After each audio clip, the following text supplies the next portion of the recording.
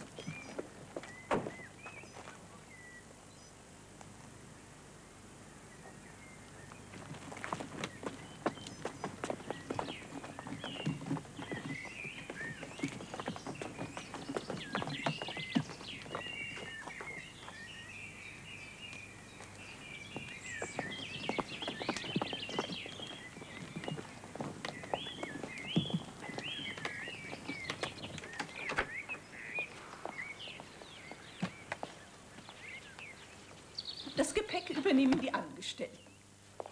Das ist ihre Aufgabe. Man soll niemandem die Arbeit aus der Hand nehmen. Ein jeder hat seine Rolle zu spielen. Oh. Die Kinder. Einen guten Tag. Guten Tag, Sir. Guten Tag, Sir. Oh, ja. Willkommen. Willkommen in meinem Heim. Betrachtet es als euer Heim, solange ihr hier bei mir seid. Danke sehr, Sir. Nun, da Krieg ist, glaube ich, selbst ich sollte mich da eines militärischen Tons befleißigen. Gut, aufstellen in einer Reihe.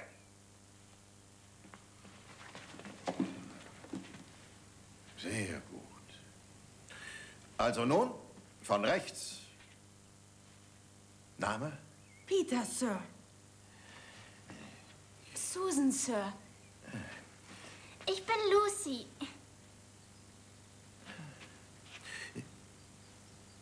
Hm? Du hast auch einen Namen, denke ich. Edmund. Sir. Sir. Ich werde versuchen, sie mir zu merken. Oh, Mrs. McReady. Ja, Professor. Die Kinder hatten ja eine lange Reise. Lassen Sie ihnen bitte ihr Essen oben in Ihrem Arbeitszimmer servieren. Sie wollen sicher nicht da sitzen und höflich sein zu einem alten Mann.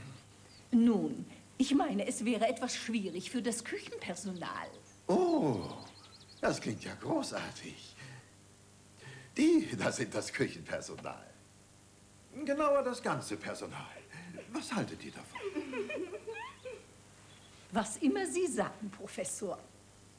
Ihr Wort ist uns Befehl. Sehr erfreulich. Wie reizend.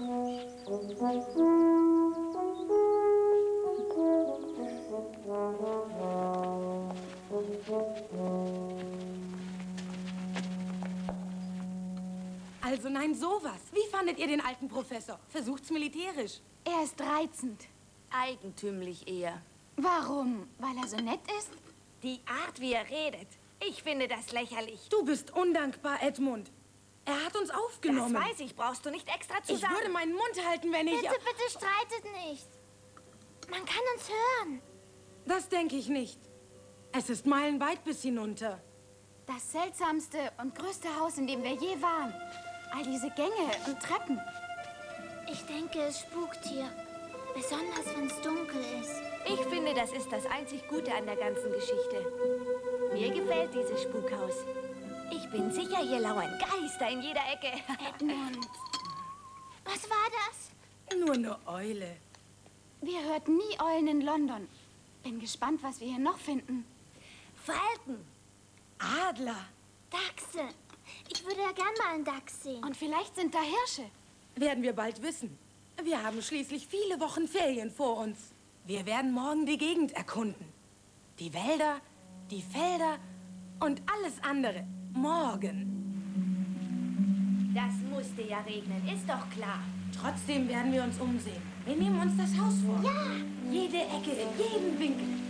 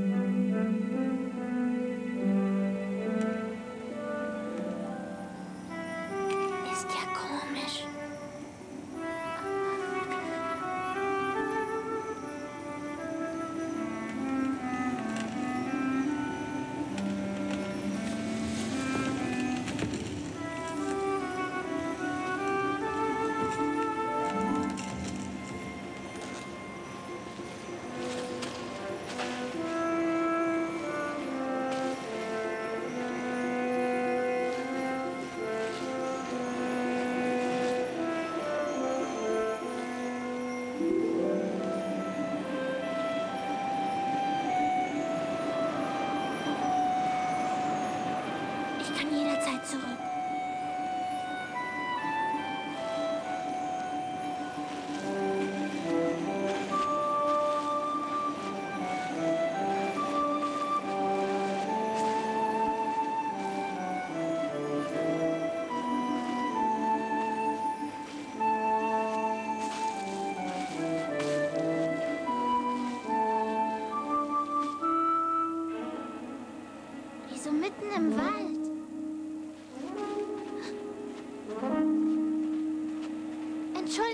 Bitte.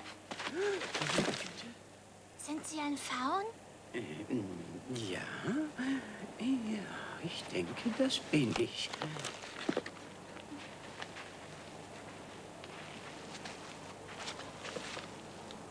Hm. Danke. Ähm, ähm, Gehe ich recht in der Annahme, dass du eine, eine Tochter Evas bist? Mein Name ist Lucy. Äh, Bist du. Vergib mir bitte. Bist du ein. äh, ein sogenanntes Mädchen? Ein Mädchen, natürlich. Ein. ein Mensch? Ja. Mädchen sind Menschen. Oh, nun ja, das ist ja fabelhaft. Ganz entzückend. Noch nie habe ich einen Menschen erblickt. Dann will ich mich doch vorstellen. Mein Name ist Tamnes.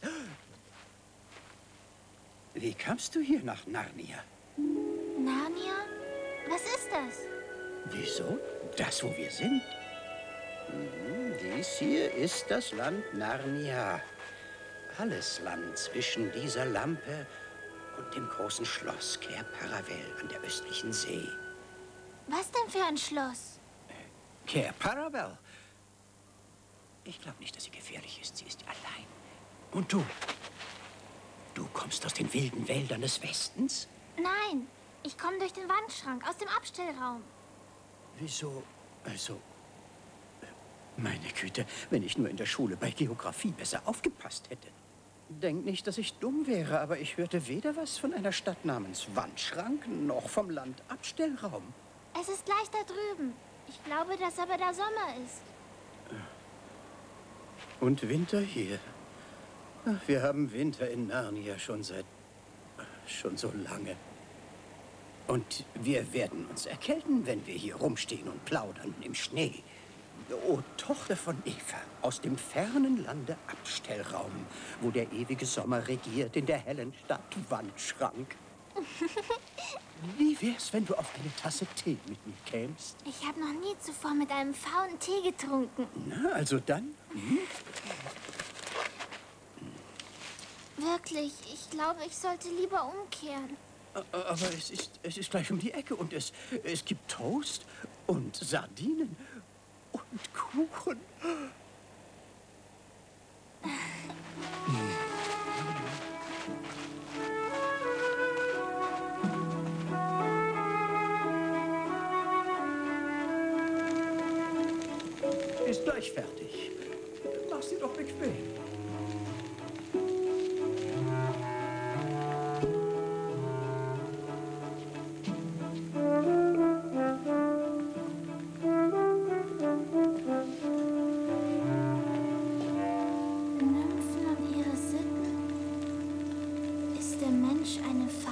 Fertig. So ein gemütliches Haus. Und das ist wirklich ein wundervoller Tee. Setz dich doch. Nimm Platz. Eine für mich und eine für die Freunde. Danke.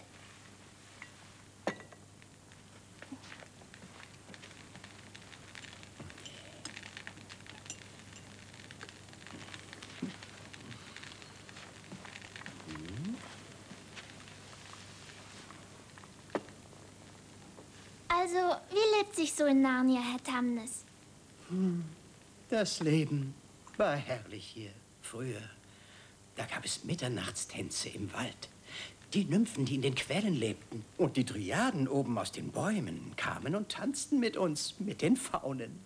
Und die Feste und das Schatzsuchen und diese Sommer. Lange, lange Sommer. Da waren die Wälder grün und alle Forsten bereit zum Vergnügen für Wochen ohne Ende. Aber warum ist es jetzt nicht auch so? Nun ist es Winter. Endloser Winter. Ich muss heimgehen. Die anderen wundern sich sicher, was mit mir passiert sein mag. Herr Tamnes, was ist denn mit Ihnen? Liebe. Oh je.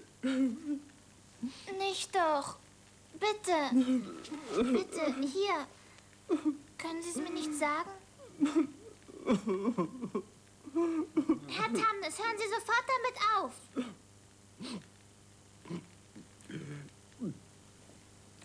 Mein alter Vater würde sowas niemals getan haben. Ich bin, siehst du, ein sehr böser Faun. Ich halte Sie nicht für einen bösen Faun. Ich denke, Sie sind ein sehr guter Faun. Sie sind der netteste Faun, dem ich je begegnet bin. Das würdest du nicht sagen, wenn du wüsstest. Ich habe etwas sehr Schlimmes getan. Ich habe mich verkauft an die weiße Hexe. Deshalb bin ich so böse. Ich stehe im Sold der weißen Hexe. Die weiße Hexe? Wer ist denn das? Wer? Nun, sie hat ganz Narnia in Besitz genommen. Sie hat es verzaubert. Sie ist es, die es ständig Winter sein lässt. Ständig Winter und niemals Weihnachten. Stell dir das vor. Wie entsetzlich. Aber wofür werden Sie bezahlt? Ich. Ich bin ein Kidnapper. Könntest du glauben, ich bin diese Art Faun, der unschuldige Menschenkinder im Walde trifft, sich freundlich stellt und sie zu sich in seine Höhle einlädt. Alles, um sie in Schlaf einzulullen und sie der weißen Hexe auszuliefern. Ich bin sicher, Sie täten nichts derartiges. Doch, du bist das Kind. Ich habe den Befehl der Hexe, wenn ich einen Sohn von Adam oder eine Tochter von Eva im Wald sehe. Sie zu fangen, sie zu verzaubern mit meiner Flöte, sie einzuschläfern und zu übergeben an sie. Aber Sie taten es nicht. Sie sagten es mir. Aber tu ich's nicht, wird sie sicher rauskriegen. Sie wird mir den Schwanz abschneiden, meine Hörner absägen, meinen Bart ausreißen. Und wenn sie ganz besonders böse auf mich ist, verwandelt sie mich in einen Stein. Tut mir so leid. Das tut mir leid. Aber bitte lassen Sie mich heimgehen. Natürlich, das werde ich. Ich muss es, das sehe ich jetzt. Ich wusste ja nicht, wie Menschen sind, bevor ich dir begegnete.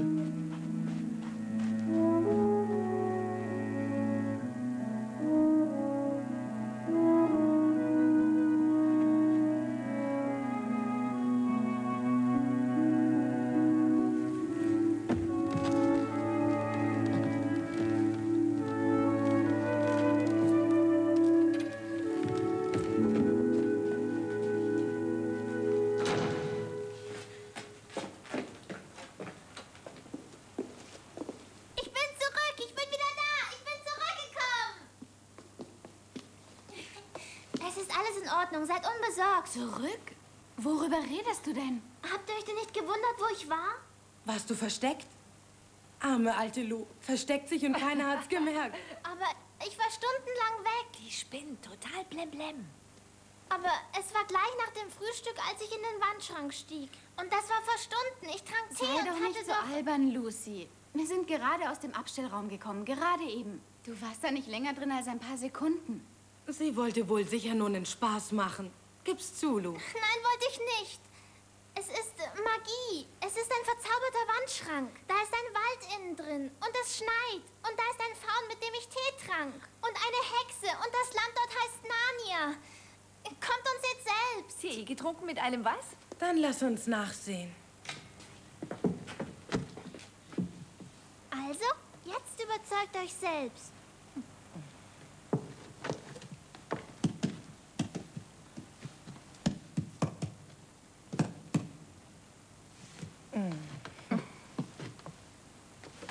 Lucy, das ist ein völlig normaler Wandschrank. Wirklich, er ist ganz gewöhnlich. Ich habe an die Rückwand geklopft.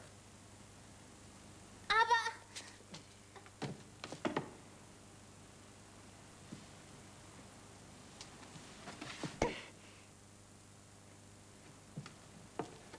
Ein echter Witz, Lucy. Für einen Moment hätte ich's fast geglaubt. das ist kein Witz. Es, es sah vorhin noch ganz anders aus. Eher ein Wort. Na komm, Lu. Jetzt reicht's schon. Nun könntest du's sein lassen. Sieh mal, da sind Fische. Ja, und, und dann Frosch. Und lauter Wasserläufer. Seht doch.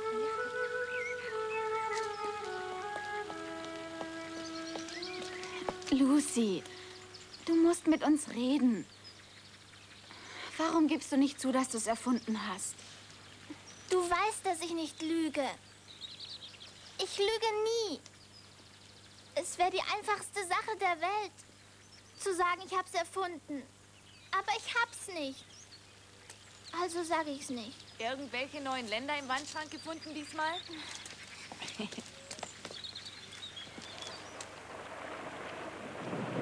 Lass uns Verstecken spielen. Susan, du fängst an. Wieso immer ich? Weil ich der Älteste bin. Und ich sage es. Eins, zwei, drei, vier, fünf, sechs, sieben, acht, neun, zehn, elf, zwölf, dreizehn, vierzehn.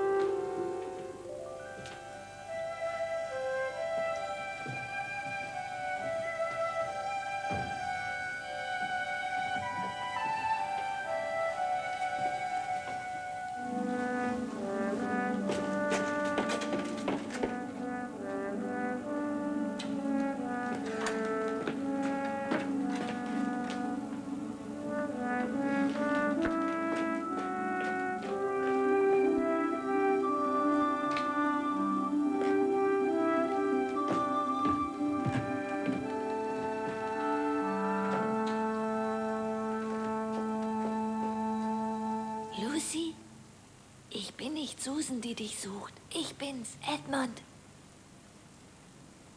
Lucy, wo bist du denn? Ich weiß, du versteckst dich hier irgendwo.